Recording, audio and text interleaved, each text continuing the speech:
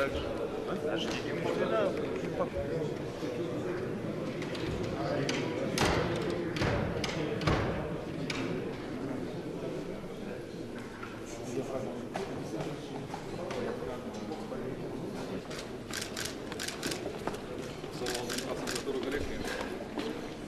That's a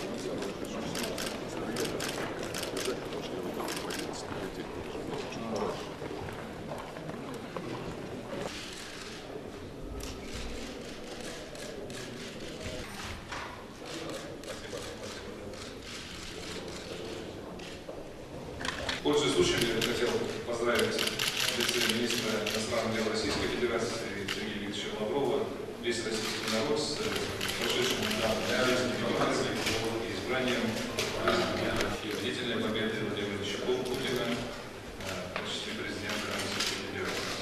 Уважаемый председатель, уважаемые участники заседания, на повестку дня вынесено в принципе один вопрос в таком составе, а принципиально